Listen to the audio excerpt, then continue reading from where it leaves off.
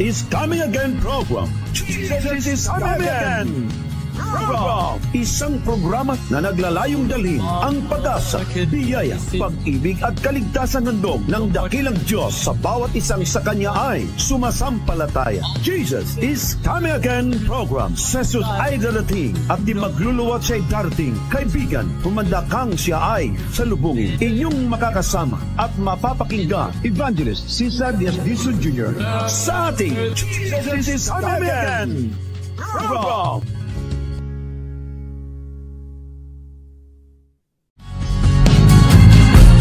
Inyong napakinggan ang Jesus is Coming Again program. Jesus is Coming Again program. At muli pa po ninyong mapapakinggan Evangelist Cesar Diaz Dizon Jr. Jesus is Coming Again program. Magandang umaga, tanghali, hapon o gabi. Saan man po kayo madatnan ng atin pong mensahe po ngayon, mahal kong mga kapatid at mga kaibigan. Kayo pong lahat ay akin pong wini-welcome. Welcome Luzon, Visayas at Mindanao. Mahal ko mga kapatid at mga kaibigan, meron pong dalawang mahalagang katanungan o tatlong mga katanungan atin pong bigyang kasagutan at harinawa sa tulong ng Panginoon. Maging malinaw lahat, kapakipakinabang at magbigay sa atin ng tamang informasyon. Tayo po'y muli ay lumapit sa Panginoon. Dakilan naming Panginoong nasa langit, salamat po Diyos sa karapatang kayo'y aming makilala. Salamat sa karapatang muli naming mapakinggan ang inyong mga salita. Kayo nawa Panginoon ang aming kasama patnubay at gabay ngayon. Ang karunungan at kaalaman ng langit ang ipagkalob nawa sa inyong bayan.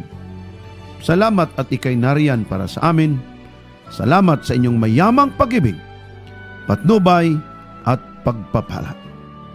Aming dalangin, Ama, na patuloy nawa ninyong pagpalain.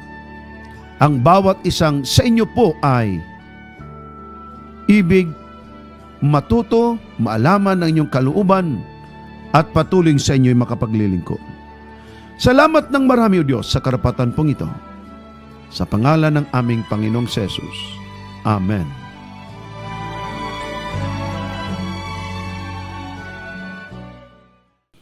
Tayo po'y dadako agad sa katanungan. Ito pang sabi, katanungan number one, calendrical system. Evangelist Pastor Dizon, taga Sambales po ako. Sa aking pag-aaral, ako ay nahirapang maintindihan ng takbo ng panahon. Mhm. Ang calendrical system po natin, paano mo matitiyak na ang Sabat ngayon ay siya pa ding Sabat sa time ni Jesus Christ? Samantalang binago na ang kalendar noong October 1582 na binago pa ng Pope na si Pope Gregory. Kaya tinawag na ang kalendar natin ng Gregorian calendar alinsunod sa kaniyang pangalan po. Ngayon, paano mo matitiyak ang sabat at siyang sabat pa rin ng Diyos hanggang sa ngayon, kapanahon na natin? Kaya sa amin, kahit anong araw, ay sabat na sa Diyos. Kasi hindi na nga natin matiyak ang araw ng pagsamba sa ngayon. Tama ba? Pakisagot po. Tanong po nyo, tama ba? Ang sagot ko po, hindi tama. In short, mali po yung sinasabi nyo. Bakit ko po sinabing mali? By faith alone, kapatid kaibigan. Isipin nyo po, pababayaan ba ng Diyos na ang kanyang bayan ay mapariwara at di malaman ng katotohanan? Kahit ikaw pa siguro ang Diyos, hindi mo pababayaan ang kanyang mga anak na hindi malaman ang totoo. Isipin mo hanggang ngayon, di mo papalatiyak yan? Tiyakin kapatid. Now, kalawang mali mo, sorry lang ha, kasi sabi mo tama ba? Ang sagot ko hindi tama, di mali. Ibig sabihin.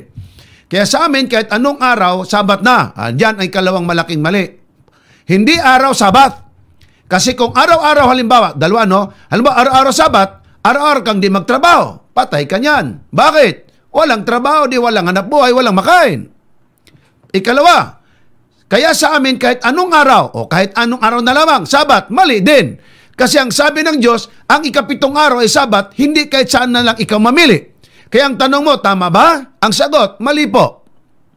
Ating puntahan yung calendrical system na sinasabi mo na binago at ikaw ngayon ay medyo natinag sa bagay ito kasi sabi mo nga, di mo na matiyak, kapatid.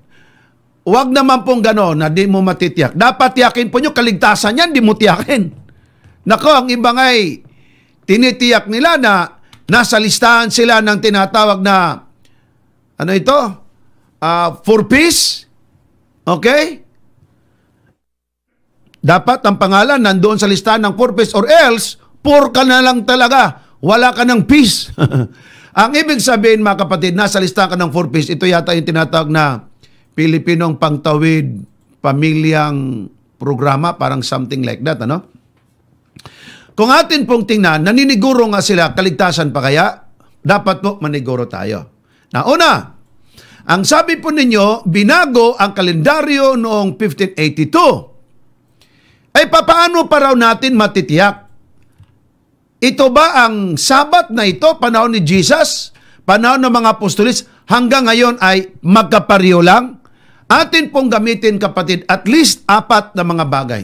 Number one, Biblia. Ikatlo, historical.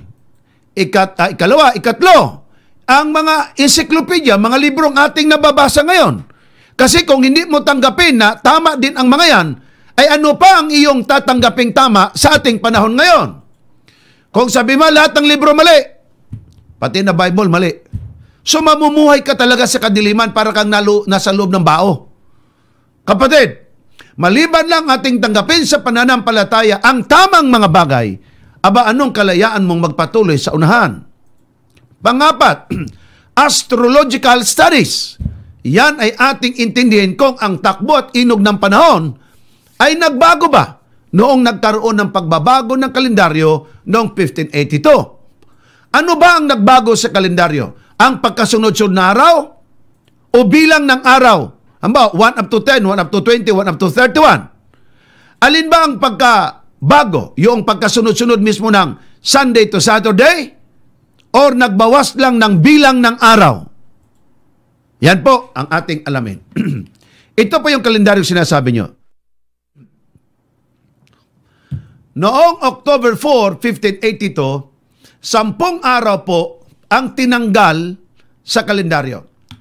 So galing sa Julian calendar, tinawag Julian calendar kasi galing to kay Julius Caesar, at inilipat sa Gregorian calendar sapagkat ang existing Pope by the time walang iba kundi si Pope Gregory XIII. Bakit po sa pangalan ng mga taong ito nakapangalan ang kalendaryo? of course, ang pinakahari at emperador sa buong mundo si Emperador Julius Caesar ng Roma. So sa kanya ipinangalan. Wala itong pinagkaiba mga kapatid, ano? Ang NAIA, National, ano yan? Uh, hindi, hindi, hindi. Uh, MIA, Manila International Airport. Noong una yan. Pero kinilala ng kapanahunang administrasyon ni Cory na kanyang misis na kung saan namatay si Ninoy Aquino, pinalitan nila ang pangalan ng Manila International Airport ng Ninoy Aquino International Airport or NAIA ngayon. sa aming lugar. Noong panahon ni Marcos, ang tawag niya Marcos Town. Pinalitan naman ng ibang pangalan. So kung sino yung existing leader by the time, minsan hindi naman gusto ng presidente, pero palibas ay gusto ng mga tao para ipangalan sa presidente, nagiging pangalan ganon. Kaya kung ating titingnan mga kapatid, si Julius Caesar, emperador ng Roma, ipinangalan sa kanya noong 45 AD, mahal ko mga kapatid, ay uh, Julian calendar. Pero uminog ang panahon at ipinangalan kay Pope Gregory XIII sa pamagitan po ni Christopher, uh, Christopher uh, Flavius, ang kalendaryo ay naging Gregorian calendar in honor to the Gregory, Pope XIII. Bakit po? Sapagkat sa panahon niyan, ang Pope na buhay at Pope by the time, si Pope Gregory, pag ikaw ang Pope mula noong 538 hanggang 1798, ikaw ang pinakahari sa estado o kaya lalo tigit sa pang-spiritual. Kaya doon ipinangalan sa kanya. Now, nagkabago ba ang bilang ng, uh, nagkabago ba ang pagkasunod-sunod ng mga araw? Sunday, Monday, Tuesday, Wednesday, Thursday, Friday, Saturday. Yan ang ating alamin. Pagka hindi naman nabago, wala kang dapat ikabahala. Pero kung nagbago, abay, dapat nga tayong mabahala. Kasama na ako dyan. Ang ginawa nila, sa halip na nakita niyo yung kulay uh, pulang bilog diyan, 4, naging 15. Kasi ito pong nangyari. Dapat 5. Ang kasunod sa 4, then 5, 6, 7, 8, 9, 10, 11, 12, 13, 14. 10 days, following days 15. Nagbawas sila ng 10 days. Araw ang binawas, hindi ang pagkasunod-sunod ng araw, pangalan ng araw. Okay? Bilang ng araw, ang binawasan, hindi yung pangalan ng araw, hindi yung pagkasunod-sunod ng mga araw. So, ang nangyari mga kapatid, nung binawasan ng sampo, nagiging October 15, 1882. Noong October 15, 1883, bumalik na po sa normal hanggang sa ating panahon. Ang tanong, bakit sila nag-commit ng sampung araw? Ating tingnan ang mga encyclopedia. Ito na po yung tinatawag na Julian calendar. Pero nalipat, according to the Wikipedia, sa Gregorian calendar noong 1582. Noong 1582 may pagbabago at nung napalitan na finally, 1582 sa panahon ni Gregorian, yun nga po nabago. Ang dahilan kapatid, ito po yon. Sa astronomical study, yung gitnang yellow na yan, na may pula din sa gitna, yan po ang araw. Ang tawag nitong araw at palibot na may mga planeta, ang tawag niyan ay solar system natin. Now, dito ngayon itong may kulay green-blue na may araw, yan po ang ating planetang Earth, pangatlo galing sa araw.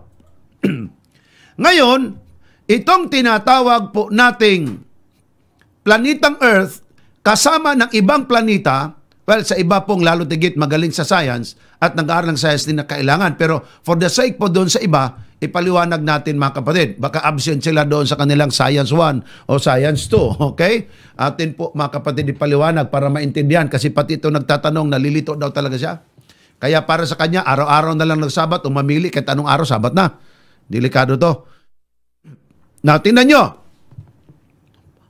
Ang isang araw, 24 hours, kinuha yan sa araw, habang umiikot siya sa araw, o no, sa, sa planetang Earth, habang ang planetang Earth umiikot sa araw, umiikot din po siya mismo ang katawan niya. Okay? Umiikot ng ganon, habang umiikot ng ganon, siya mismo umiikot din.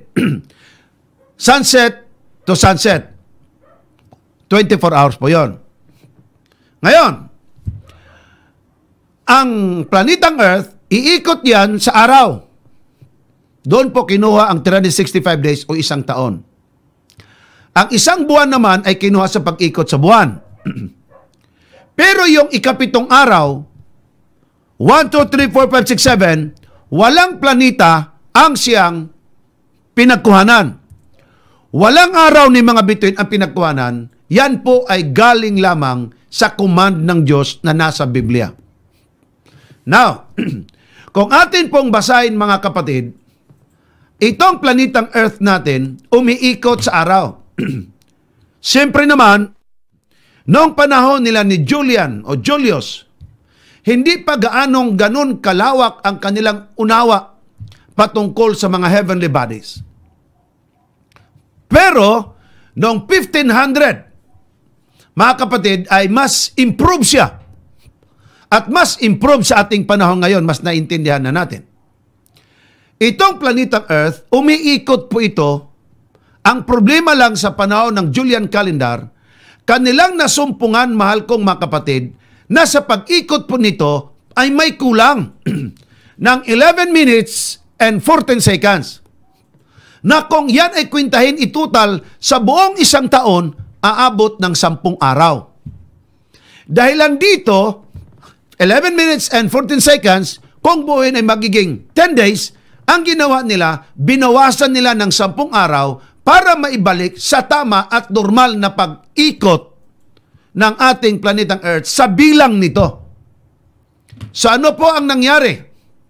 Dito po sa tinatawag nating uh, Northern Hampshire, Winter Southern uh, Hampshire Summer, papunta po dito sa kaliwa ng Northern Hampshire, Summer, Southern Hampshire, atin pong makikita na papunta sa spring at saka autumn, meron po yung pag-inog ng iba't ibang klasing tinatawag po natin na panahon.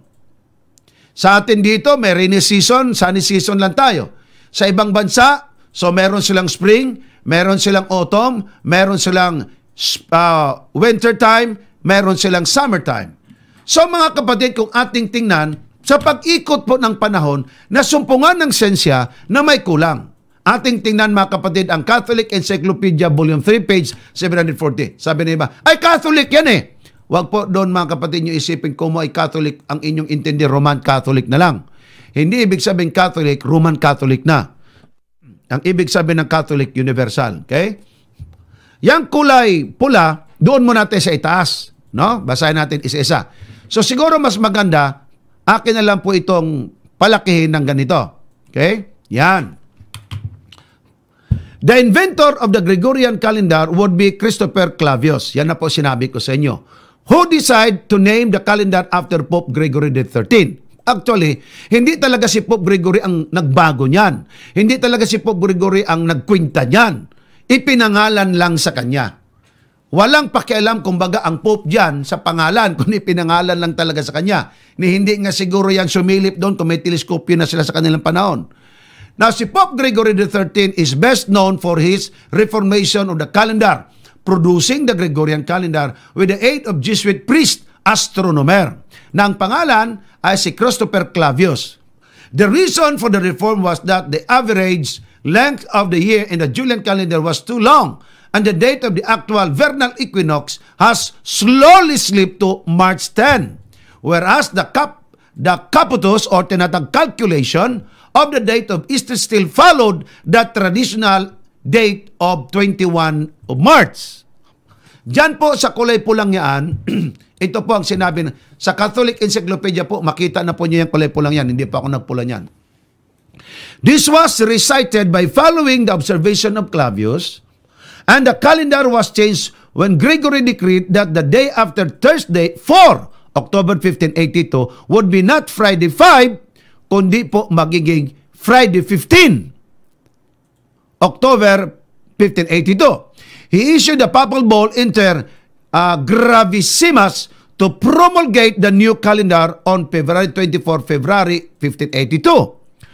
On October 15, 1582, this calendar replaced the Julian calendar in issue since 45 BC. Ito kasing Julian calendar, 45 BC ito, ginawa. At noong 1582, so matagal ng panahon mga kapatid, no? Isang libong taon, limang daan at ilan? At 37 ka mga taon nang lumipas. O, kwentahin na lang po ninyo. Has become universal use today. Because of his decree, the reform of the Julian calendar came to be known as the Gregorian calendar. Yon lang po kapatid ang may pagbabago doon. Now, tinan nyo ha. Wikipedia, mas mabuti yung marami ting gagamiting mga mga resources. Why did the calendar change from Julian to Gregorian? Ito pang sabi. Wikipedia, the Gregorian calendar also known as the Western or Christian calendar and the most widely used calendar in the world today. Its predecessor, the Julian calendar was replaced because it did not properly reflect, not properly reflect the actual time it takes the earth to circle once around the sun known as a tropical year. So nasumpungan nga nila sa one year, one, one year may 10 days missing, kung baga. Now, meron pa. Ayon po mga kapatid sa katanungan, totoo ba na mayroong 8 years na nawala? Ito pang sagot. This factual incorrect. World did not lose 8 years in the 1500s while adopting the Gregorian calendar. Wala pong nawala. This papal bull issued by Pope Gregory XIII in 1582 decreed 10 days be dropped from October 4 to October 14, uh, October 5 to October 14, 10 days ang i-drop. Para ang eh, October 4, ang kasunod, October 15. When switching to the Gregorian calendar, however, the later switch occurred, the more days had to be omitted. So, nung nagkaroon ng omission, kapatid, from Julian calendar to Gregorian calendar, ito po ang nangyari. Ang pagkasunod-sunod ng araw, hindi nawala. Ang Sunday, nandyan pa rin. Monday, nandyan pa rin. Tuesday, nariyan pa rin. Wednesday, nariyan pa rin. Thursday, andyan pa rin. Friday, hindi nawawala. Eh ang Sabado, nandyan pa rin. Hindi po nawala ang Sunday to Saturday. Ang sabi kasi ng Diyos, Sunday to Friday, sa atin na pong wika ngayon, anim na araw, magtrabaho. Ang ikapito, Sabat, nandyan pa rin. Ang nabago lang dyan, kapatid, ay yung pagkasunod-sunod ng araw. Sa halip, pizza 5 nung Friday, nagiging pizza 15. Pero, ang pagkasunod ng Friday at Saturday, yun pa rin. Walang pagbabago ang pagkasunod-sunod ng mga araw, kundi ang bilang lang ng araw ang binawasan para matama na. Para bang sa sasakyan, urong, urong, sige, urong ka dyan, urong, hanggang napuno, naging sampo ang isang upuan sa isang jeep na malaki-laki. So kung ating tingnan kapatid, same story with that. Nagbawas para kumasya at tumama na ang tamang bilang ng panahon. Pero yung Sunday, Monday, Tuesday, Wednesday, Wednesday, then Thursday, Friday, and Saturday, nandyan pa rin po kapatid. Dagdagan natin. Galing po sa World Knowledge Encyclopedia. Galing po sa encyclopedia ito, atin pong mabasa ang kunting storya. Pinutol ko lang mga kapatid para hindi nyo makita agad sa ibaba, pero ipapakita ko yan para focus muna po tayo. Galing po sa Standard Encyclopedia of the World Knowledge. Diyan, ito mga kapatid, galing sa librong ito ha. A Short History of the Calendar Change. How can we be sure that the seventh day of our modern week, Saturday, is the original seventh day of Bible times? Yan talaga mga kapatid ang nakalagay sa Standard Encyclopedia. Ito po ngayon ang sinabi ng encyclopedia. Tuloy natin ha.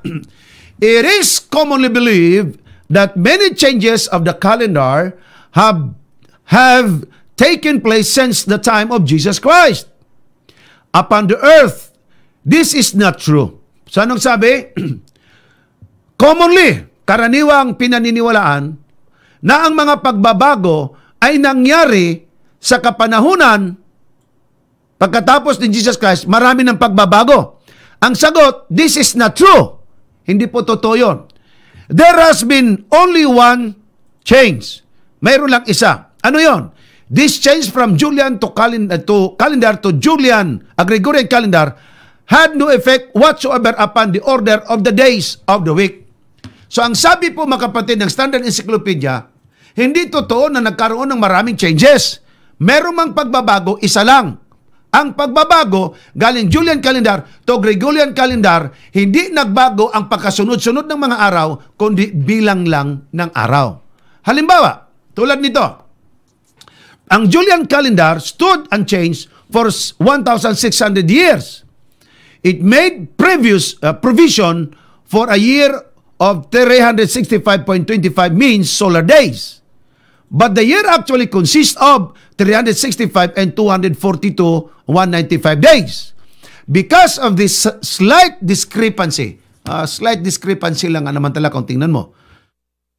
Ito po ang nangyari. As the centuries passed, the seasons shifted.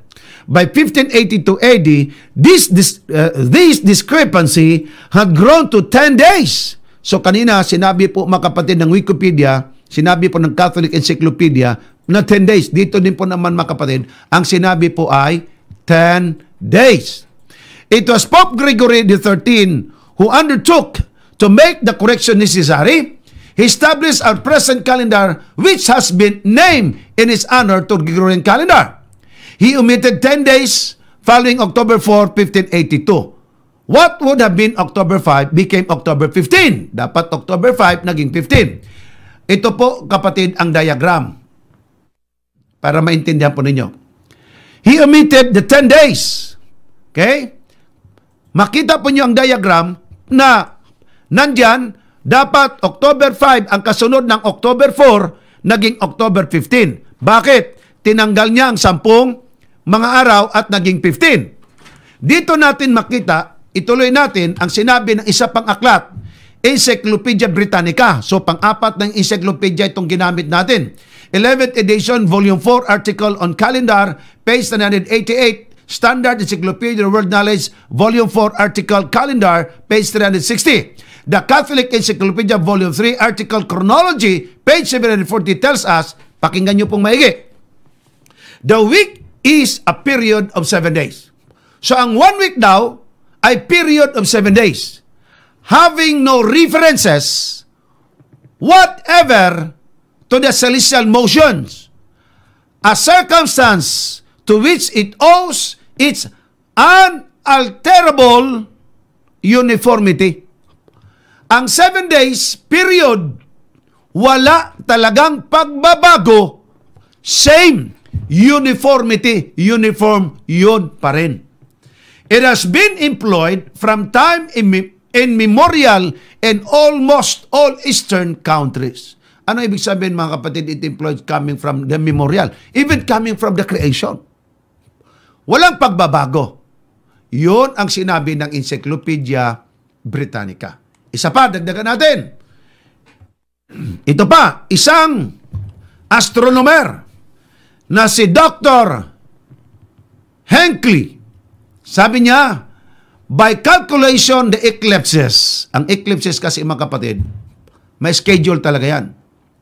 Sa, kaya nga ang sabi ay, sa ganitong pizza, sa ganitong lugar, magkakaroon ng eclipse. Kaya ang mga astronomers, mga kapatid, na nag-aaral ng heavenly bodies, tatakbo yun doon sa isang bansa at doon nila obserbahan yung eclipses. So, makita natin na sabi niya, by calculating the eclipses, sabi mga kapatid ng Standard Encyclopedia of the World Knowledge, it can be proven that no time has been lost and that the creation days were seven, divided into 24 hours each. The Watchman, July 1926. So, Malinaw kapatid na sinabi po ng astronomers nito na yun pong 7 days divided into 24 hours, bawat araw, walang pagbabago. Ito pa, isa pa. Professor Toten of Yale University tells us, in spite of all our discreditings with the calendar, it is patent that the human race never, never lost the septenary sequence of the weekdays. Hindi po nawawala talaga. And that Sabbath of these later times comes down to us from Adam to the ages without a single lapse. Kita nyo pati sabi pa ng encyclopedia nito at ni Tuten na professor ng Yale University. Kapatid, malinaw sinabi niya. Even a single lapse, hindi nangyari mula kay Adan kay Adan, kay Adam, hanggang sa mga ages o kapanahunan, even a single lapse, walang pagbabagong nangyayari, same pa rin ang takbo ng ating panahon. Yan kapatid, by calculating the eclipse. Then, Sabi po po dito, the Julian calendar stood unchanged for 1,600 years. So kung ating tinan kapatid, ang binawas lang nila 10 days. Nakita nyo yan? 10 days lang po.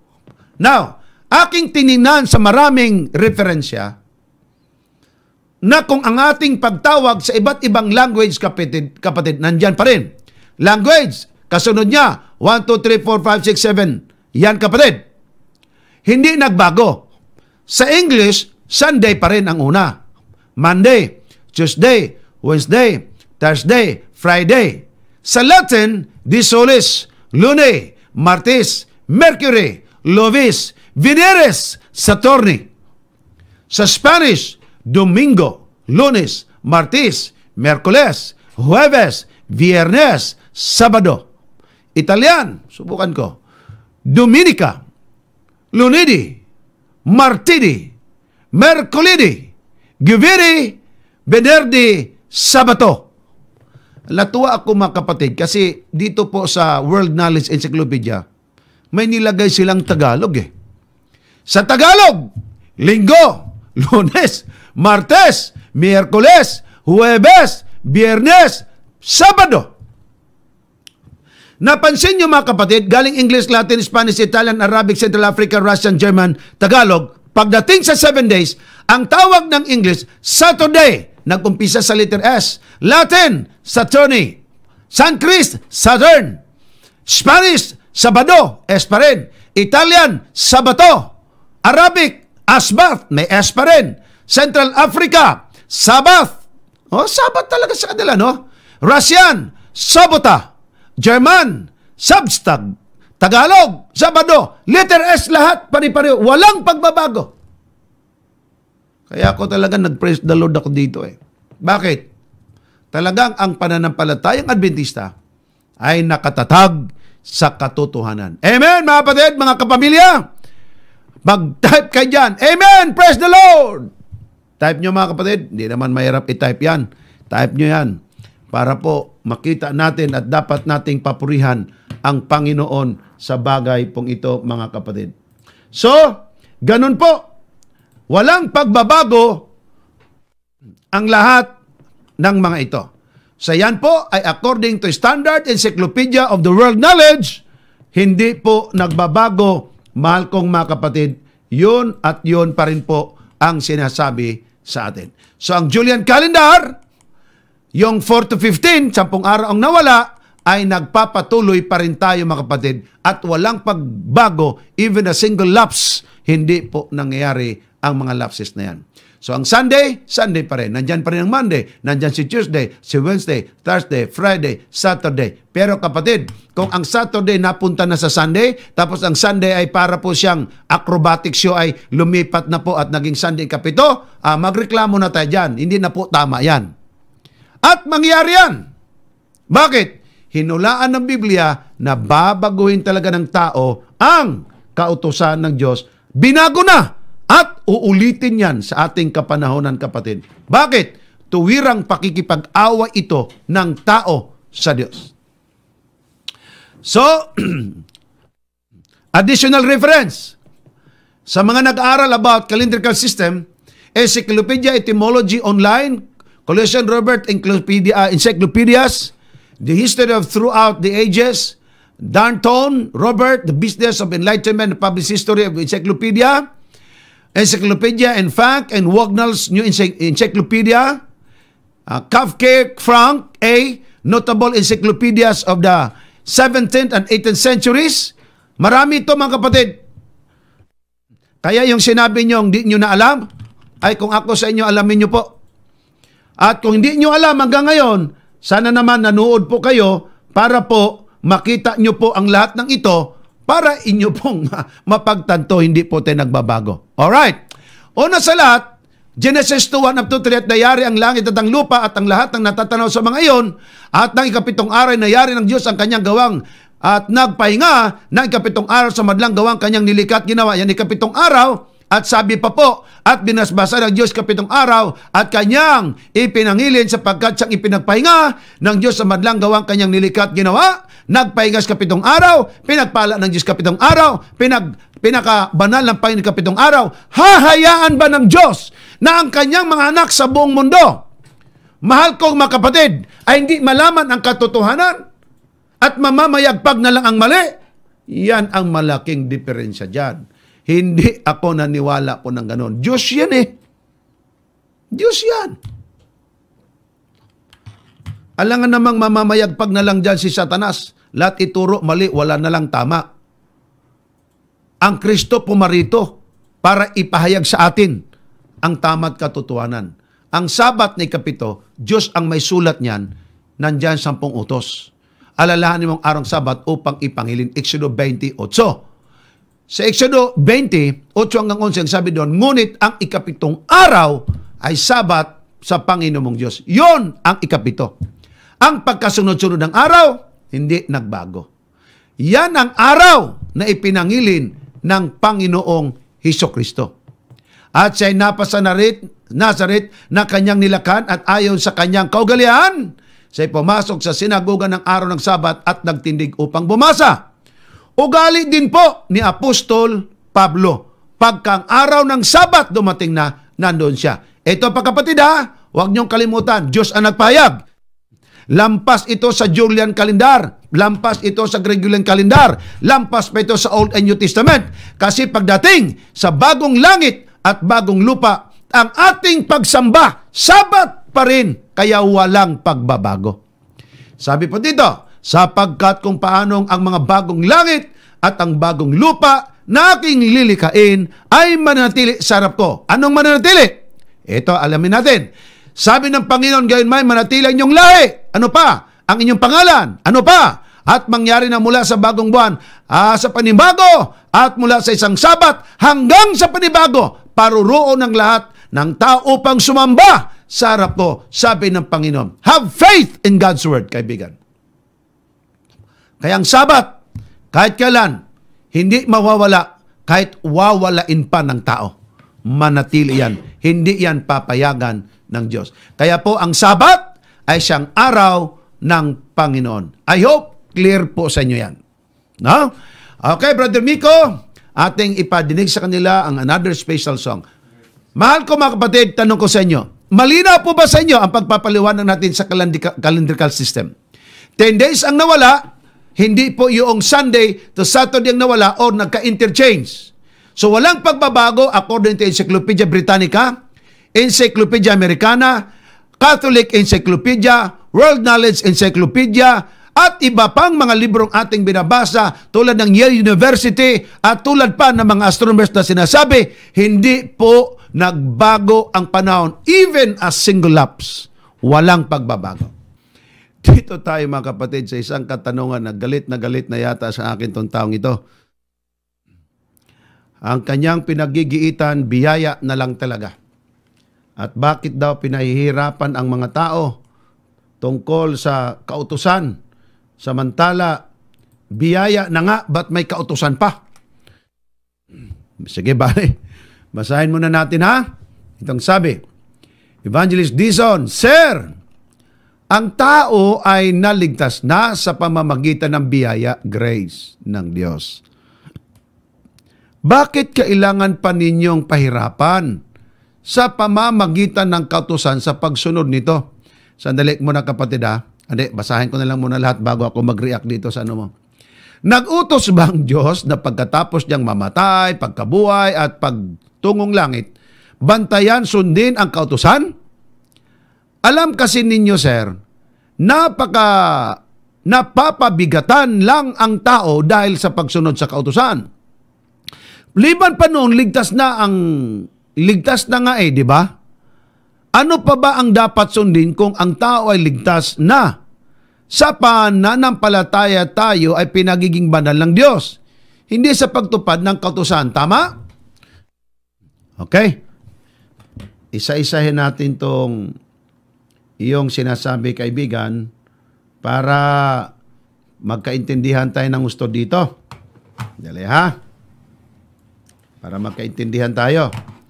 Kasi pinalalabas mo dito sa iyong salita na kami patuloy ang nagpapabigat sa tao dahil lang sa ipinapasunod ang kautusan. Sino ba ang may gawa ng kautosan? 70 Adventist o ang Diyos? Diyos. Sino ba ang nag-utos na sundin ang kautosan? Ang Diyos o 70 Adventist? Diyos pa rin. Paano mo nasabing pinabibigatan namin ang tao sa pagpapasunod sa kautosan? Kapatid, kung ang sampung utos ay di na dapat sundin, ano pa bang dahilan na tayo mangaral dito? Ay di wala na. Kung ang pagsambay linggo, ay di linggo tayo pumunta.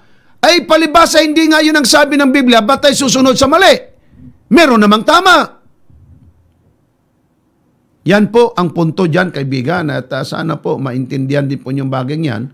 Kasi kung hindi nyo po intindihin yung bagay yan, abay, magkakaproblema po kayo ng gusto. Kasi ang intindihin nyo ang kautosan ng Diyos, pabigat. Hindi po pabigat ang kautosan ng Diyos. Binasa kaya natin yan kagabi na ang susunod sa kautosan ng Diyos, hahabang buhay.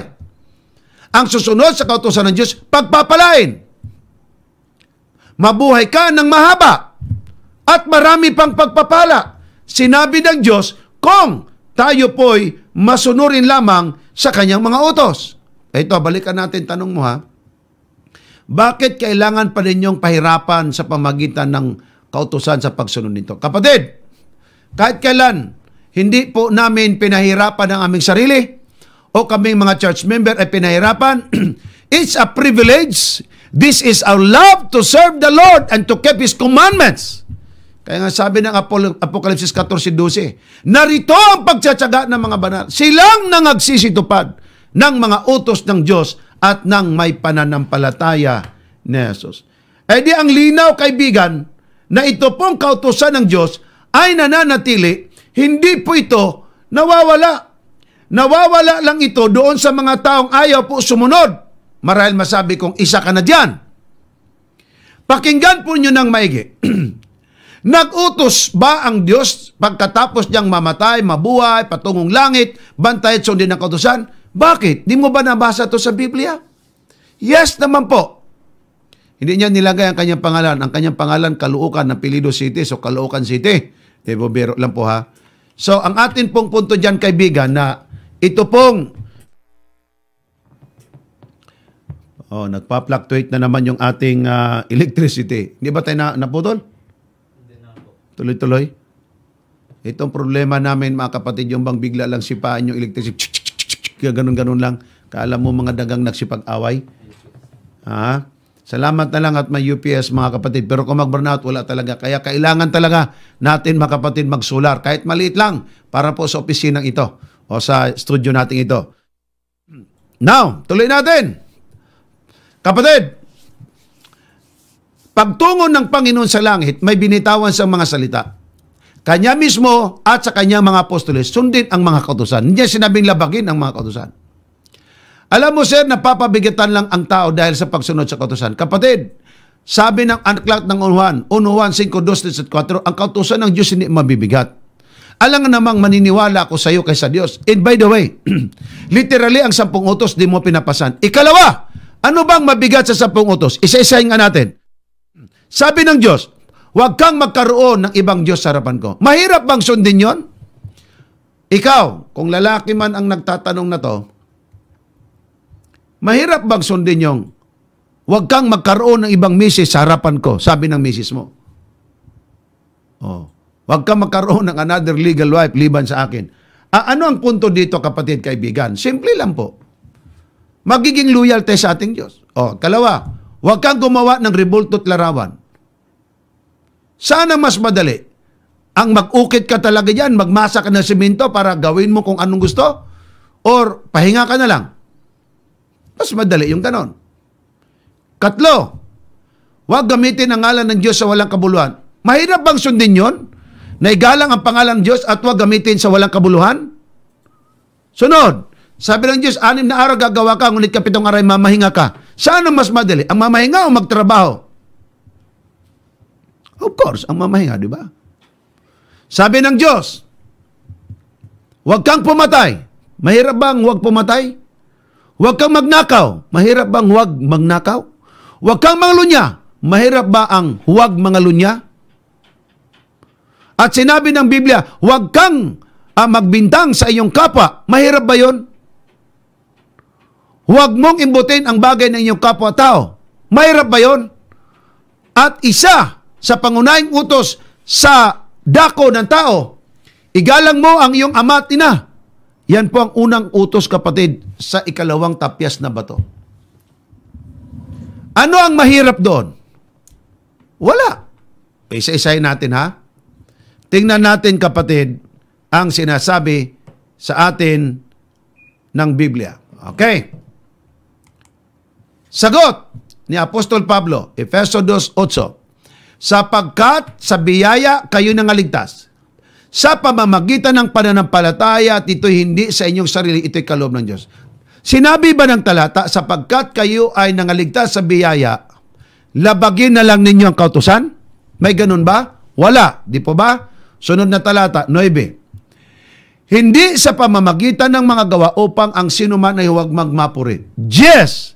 Sapagkat kayo'y tinawa kanyang gawa with the workmanship of God na nilalang kay Kristo Jesus para sa mabubuting gawa.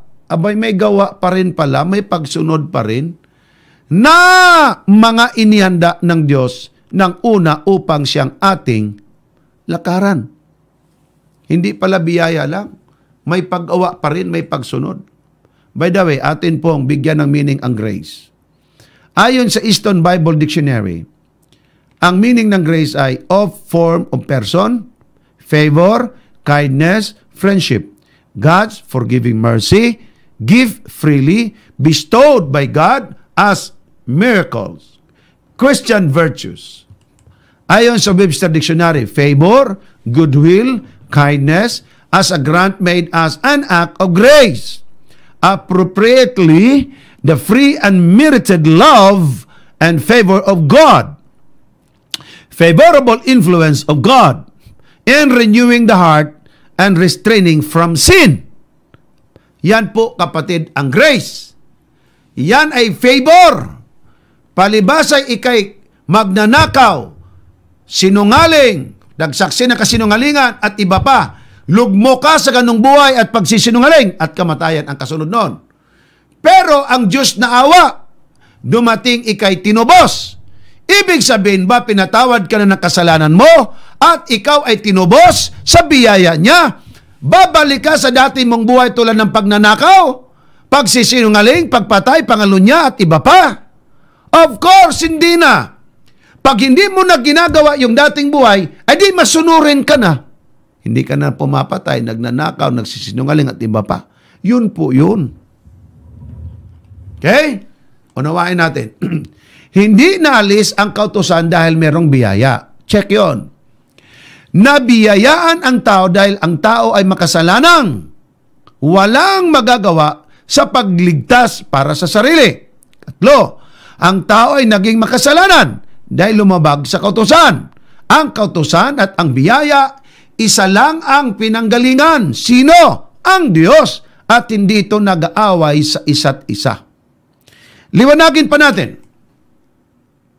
Kung ang tao ay ligtas na sa biyaya, paulit-ulit na lang ito kapatid, no? pero sa tanong ko sa inyo, itong nagtatanong, baguhan to eh. Atin pong bigyan lang siya ng panahon. Kung ang tao ay ligtas na sa biyaya ng Diyos, lalabag na lang ba sa kautusan ng Diyos o susunod? Ito. Ang sagot, no, no, no. Bakit kapatid? By definition pa lang, delikado na eh. Whosoever sins is guilty of breaking God's law. Because sin is a breaking of the law. Ang tao pala, naging makasalanan kasi nilabag ang kautusan. Pag nilabag ang kautusan, resulta kasalanan.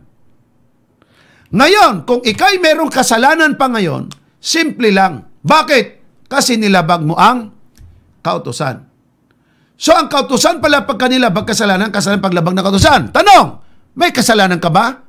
Yes, of course. Bakit? Guilty ka nga sa ginagawa mong kasalanan eh. Kung walang kautusan nagsasabing huwag mong gawin yon, magiging guilty ka ba? No. Alisin mo ang kautusan. Di mo alam, may kasalanan ka. Kaya ang kautusan nariyan pa rin. O ito, Ano ang kasalanan? Nilabag ang kautusan, resulta, kasalanan. Ang kasalanan, ang source nito, paglabag sa kautusan. Roma 6.1, did to sin, alive to God. What shall we say then? Should we continue to live in sin, breaking God's law, so that God's grace will increase or will abound? Sabi ni Apostol Pablo, verse 6, uh, verse 2, Certainly not. We have died to sin. Patay na tayo. Makasalanan tayong una. Nilabag na nga natin. Pero ngayon, sabi niya, How then can we go on living in it? Paano tayo manumbalik doon? Kaya sabi ng Panginoon kay Maria, ikaw ha, isa kang adulterer, fornicators. Maria, pinatawad na yung kasalanan, go and sin no more. Nagtino siya. Hindi na niya ginawa uli yun. Ganon po yung kapatid. Roma 6.14 at 15. Ano nga? Mga kasala baga tayo dahil tayo ay wala sa ilalim ng katusan, kundi sa ilalim ng biyaya? Oy, sabi ni Apostol Pablo, huwag nawang mangyari. O di ang linaw, di po ba? Sabi mo, ligtas na nga tayo sa biyaya, ba't kailangan pa ba yung kautusan? Kapatid, hindi ibig sabihin ligtas ka biyaya, sa biyaya, eh labagin mo na lang ang kautusan. Linaw po niyan. Yan ang sinabi po. Roma 7.7. Ano nga ang ating sasabihin? Ang kautusan bagay kasalanan? Huwag nawang mangyari. Datapat hindi ko sana nakilala ang kasalanan, kundi sa pamagitan ng kautusan. Sabi ng Apostol Pablo, 7.25. Kaya nga, tunay kong ipinaglilingkod ang aking pag-iisip sa kautusan ng Diyos. Dito kapatid malinaw na si Apostol Pablo ay naglilingkod sa Diyos sa pamamagitan ng pagsunod sa kanyang kautusan. Tanong, ligtas na sa biya? Sino sabi? Apostol Pablo. Sumunod pa rin ba siya sa kautusan? Yes. Ikaw na nag-claim ngayon na ligtas sa biyaya. Kung ang Pablong nagsabi sa iyo, ligtas sa biyaya, sumunod. Ikaw ang ligtas sa biyaya ngayon. Ayaw mong sumunod? Pagpili mo yan. Kagustuhan mo yan. Nasa iyo yan. Yon po yon, kaibigan. I hope, clear po sa inyo yan. Tanong, kung ang tao ay ligtas na at mayroon ng pananampalataya sa Diyos, ay labagin na lang ba niya ang kautusan ng Diyos? Ha, binanggit niyo po kasi kanina, di ba ligtas natin sa biyaya, sa pananampalataya sa Diyos? O ka ngayon, kung may pananampalataya ka, wag na lamang sunod ng kautusan? Ono 1, 2, 3, pakinggan niyo po. Natitiyak nating nakikilala ang Diyos o nanampalataya sa Diyos. Kung, kung, kondisyonal, kung sinusunod ang mga utos niya. Kung ating tingnan sa kabilang dako, kung hindi natin sinusunod ang kanyang mga utos, hindi nga natin siya nakikilala. Kung sinusunod, natitiyak natin kilala ang Diyos. So saan ka sa dalawa? Tiyak nakakakilala sa Diyos na sumusunod sa utosan ng Diyos or nag-aangking nakilala ang Diyos pero hindi sumusunod sa kautosan ng Diyos. Mamili po kayo. Roma 3.31 Niwawalan kaya nating kabuluhan ang kautusan sa pamagitan ng pananampalataya? Anong sagot ni Pablo? Huwag nawang mangyari. Wow, grabe ng bigat yan. Huwag! Nawang mangyari. Kundi pinagtitibay pa nga natin ang kautusan. Ito ang sinabi ko kanina. Ono 1, 2, 4. Ang nagsasabing nakikilala ko siya or in other terms, ang nagsasabing may pananampalataya ako sa Kanya at hindi tumutupad ng kanyang mga utos, utos ng Diyos. Anong sabi ng Biblia? Ay sinungaling at ang katotohanan ay wala sa Kanya. Kapatid at kaibigang taga Caloocan City, hindi kaya lumalabas at ang kinalalabasan, ganito nga yun, ikaw tuloy? Ang taong nagsasabing kilala ang Diyos pero hindi naman sumusunod sa utos kasi ayaw mo nga kasi sa pabigat. Sabi ng Panginoon, no, sinungaling at wala pa sa kanya ang katotohanan. Ono Juan 5.2 Sa ganito nating natitiyak kung iniibig natin ang mga anak ng Diyos, tao, kung iniibig natin ang Diyos, ay sinusunod natin ang kanyang mga utos. Si Apostol Juan po yan. Tapos ikaw ang nagsabi na, bakit nyo pinasusunod pa rin ang kautusan? Ligtas na nga sa biyaya eh. O ito kapatid, nagkamali ba si Apostol Juan pagsabi nito? Of course not. Ito pa. Tres, iyan ang tunay na pag-ibig sa Diyos. Ang sundin ang kanyang mga utos. Linaw kapatid. To love God is to keep His commandments. Saan ka makita Diyos na natutuwa na kanya pong nilalabag, kanya pong inaaglahi, kanya po mga kapatid na pinaglalabag ang ipinag-utos sa Diyos na kanya kinikilala. Palagay ko, kahit si Satanas siguro magagalit siya sa kanyang mga kampon kung ang kanyang mga kampon ay taliwas sa kanyang pinag-uutos. Oh. Roma City 12, ano bang kautosan ng Diyos? Kaya nga, ang kautosan ay banal, at ang utos ay banal, at matuwid at mabuti. Anong mahirap doon sundin? Banal, matuwid, at mabuti. Alin doon ang mahirap sundin, kapatid? Kung yan siguro hindi banal, hindi matuwid, at hindi mabuti, ako na mismo magsabi sa iyo, huwag tayong sumunod. Pero walang Diyos na banal na nagbibigay kapatid ng kautusan para lamang tayo pahirapan. Ito ang sabi ng Diyos, oh. Deuteronomy 4.13 At kanyang ipinahayag sa inyo ang kanyang tipan na kanyang inutos sa inyong ganapin. Ganapin nga, oh. Kaya ipinag-uutos talaga. Kahit tayo, nire-remind natin ng mga tao, tinuturuan, inaaralan, na dapat ganapin. Bakit? Utos ng Adventist? No, yan ang sabi ko sa inyo. Eh. Ang sapong utos ba? Sapong utos ng Adventist. Yan o sa Diyos? Sa Diyos. Ang nagsabi ba na ang kautosan niya ay dapat ganapin? Sabi ng Adventist o sabi ng Diyos? Sabi ng Diyos. At atin na lamang sinusunod, kapatid, at ating ibinabahagi ang pagsunod sa iba. Sabi niya, oh, na kanyang inutos sa inyong ganapin sa makatwid bagay ang sampung utos at kanyang isinulat sa dalang tapyas na bato. Linaw. O ito sabi na mismo ni Kristo Jesus ha, John 15.10. Paboritong versikulo ko to eh. Kung tinutupad ninyo ang aking mga utos, kapatid, conditional yung salitang kung. Kung tinutupad, kasi bakit sinabi niyang kung? Kasi ang iba hindi sumusunod eh. Kung tinutupad ninyo ang aking mga utos, so sabi niya, ay magsisipanan kayo sa aking pag-ibig. So yung mga taong hindi po sumusunod sa utos, klarado na po yan. Talagang hindi nagsisipanaan sa pag-ibig ng Diyos. Kaya always galit sa kautusan. Gaya ng aking pagtupad sa mga utos ng aking ama, ay si Kristo nga pala, oh, na pinanimpalatayanan mong ligtas ka na niya sa biyaya, ay sumusunod din. Ano namang dahilan ikaw nag-claim na ligtas sa biyaya? Ayaw mong sumunod, ay yung ang nagbiyaya sa iyo ay sumusunod nga. Tayo pa kaya ang binibiyayaan lang? Sabi niya, oh, at ako'y nanatili sa kanyang pag-ibig. Malina po ba, kaibigan? I hope, clear po sa inyo. Brother Caloocan City.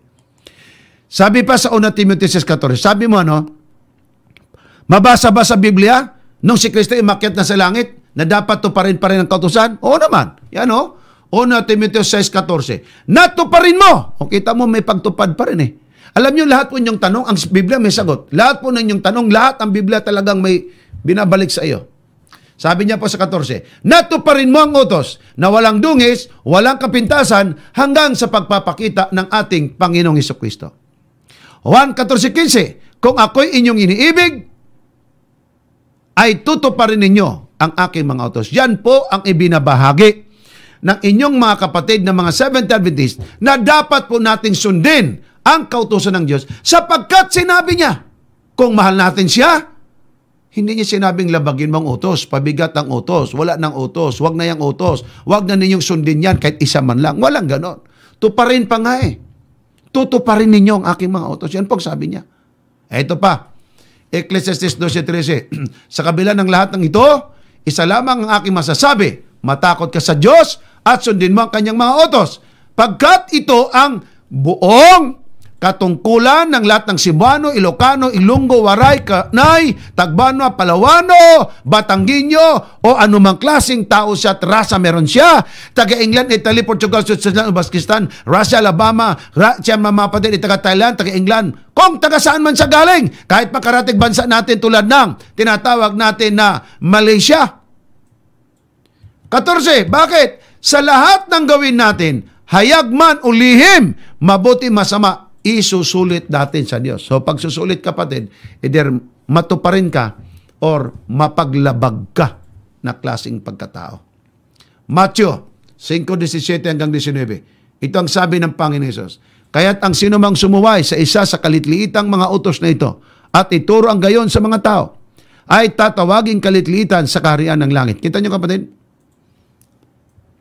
Sino man ang mag sino man ang lumabag tapos ituro pa ang paglabag ng gayo sa mga tao. Sa langit kapatid, kikilanin kalit kalitlitan ka. Na walang anak ang Diyos na unano, ibig sabihin ko kapatid, maliit sa karya ng langit. Kabaliktaran ng paglabag ito. Datapot, ngunit, subalit, pero ang sinumang gumanap Sumunod sa kanyang kautusan. At ituro, ituro, ito naman ang kabaliktaran. Ito'y tatawaging dakila sa karya ng langit. Ang isa, kalitlitan. Ang isa naman, dakila. Mamili ka, saan, saan ka doon sa dalawa? Awit, 119, 1 at 2. Ito pong dahilan bakit tayo pa nagtuturo sa kautosan ng Diyos. Hindi para kayo mapabigatan, hindi para kayo po mapahamak. Talatang 1, 119, 1 at 2. Mapalad, swerte. Pero ang pagsunod sa Diyos, hindi yan paswertihan. Mapalad, talagang babalikan ka ng Panginoon pagpapala. Kaya mapalad ka. Mapalad silang sakdal sa lakad na nagsisilakad sa kautosan ng Panginoon. Ibig sabihin sumusunod. Mapalad silang nangag-iingat ng kanyang mga patutuo na nagsihanap sa Kanya ng buong puso. Bakit kapatid? Pagpapalain ka ng Diyos. Dapat sana ang love, kung love mo ang Diyos, always leads to obedience. So kapatid, choose you, this day. Alin ang piliin mo? Ang paglabag o ang pagsunod? Mahalin ang Diyos o hindi? Sundin ba ang kanyang kautusan o labagin na lang ang kanyang kautusan? Decision is yours. Brother na taga Caloocan City, ang hiling ko sa dakilang Panginoon, nawa ay naging maliwanag ito po sa inyo. Mga kapatid ko at mga kaibigan again, kung maliwanag po sa inyo ang binsay ng Panginoon ngayon, sabihin natin, Praise the Lord! Maliwanag ang pabalita ng Panginoon. Praise the Lord po rin ng Diyos sapagkat naunawaan natin ang salita ng Diyos. Pwede po ba kayo mag-message mga kapatid? Mag-comment po kayo sa ating pong Facebook account, kahit po sa ating YouTube channel, at gusto ko pong marinig ang inyo pong minsay, mga kapatid. Tayo po ay dadako sa ating hardin ng pananalangin. Sa nga po pala doon sa nagtanong na una at ikalawa, kapatid, mahal po namin kayo. Hindi kami galit sa inyo, Ayaw namin kayo pagalitan, sino naman kaming magagalit sa inyo, pero ang amin lang pong kailangan sa ngalan ng Panginoon at sa kanyang biyaya, lahat po tayo ay patuloy na sumunod sa kanyang kaluban sapagkat yun pong nararapat at tawagin ka ng Diyos na mapalad at kanya pong anak. Bakit? Siya ang nagsalita, siya ang nagutos, siya ang magpala. Tayo dadako kapatid sa ating hardin ng pananalangin sa muli at ating ilapit sa Panginoon ang mga bagay na gusto po nating ilapit sa Kanya.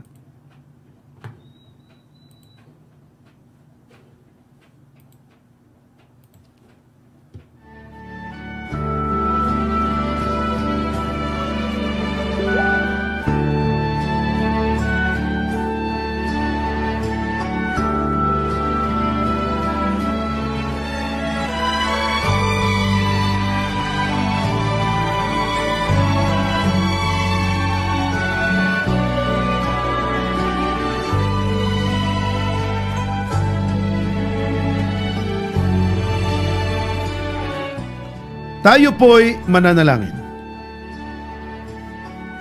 Dakila naming amang nasa langit, Diyos na mapagmahal, Diyos na kaibig-ibig, mapagpala, banayad sa pagkagalit, mapagpatawad, Diyos na puspos ng kabutihan at kabanalan, makapangyarihang may gawa ng langit at ang lupa, Nagbigay sa amin ng buhay at kalakasan at hininga ng buhay. Purihin kayo, Panginoon. Salamat po sa inyong mayamang pag-ibig. Salamat po sa lahat ng inyong kabutihan. Purihin kayo, Ama. Magpakailan-kailanman. Saan man kami nagkulang at nagkasala. Ang patawad nawa ng langit ang aming mararanasan. Pagpalain po ninyo, Ama, ang bansang Pilipinas at ang mga, Pili- mga bansa sa palibot ng buong sanglibutan. Ingatan, Panginoon, anumang suliranin ay managumpay ang bawat isa. Salamat, Panginoon, din naman sa mga nangabinyagang labing dalawang kaluluwa. Nabinyagan dahil nakikinig sa inyong programa. Sa mga programang napapakinggan ay manahanawa lagi sa kanilang mga puso ang makatotohan ng kanilang tinaglay. Salamat sa inyong pag-ibig at pagdinig sa aming mga dalangin. Ngayon mga kapatid at mga kaibigan, tanggapin ninyo ang pagpapala ng Ama. Tanggapin ninyo ang katugunan ng inyong mga kailingan dalangin. Sino man ang nandyan sa banig ng karamdaman ay pagalingin. Suliranin sa pamilya, mga anak, asawa, hanap buhay kay pagpalain at ingatan na maging mabuti at maayos ang lahat. Ano man ang kailingan nila, Panginoon, ipagkaloob nawa ayon sa inyong mayamang biyaya. Kapatid, mga kapatid, tanggapin ninyo ang pagpapala ng Ama, biyaya ng anak, gabay ng Santong Espiritu, ay mapa sa inyong lahat, mapa sa ating lahat. Ito'y aming kahilingan na ang pananampalataya ay nagsusumigasig Panginoon na aming pinananaligan na ang lahat ng ito o dakilang Diyos na makapangyarihan higit sa lahat ay amin ang tinanggap ang katugunan sa aming mga dalangin alang-alang ng lahat sa pangalan ng aming Panginoong Jesus. Amen. Amen. Inyong napakinggan ang Jesus is Coming Again program. Jesus is Coming Again program. At muli pa po ninyong mapapakinggan Evangelist Cesar Diaz Diso Jr. Jesus is Coming Again program.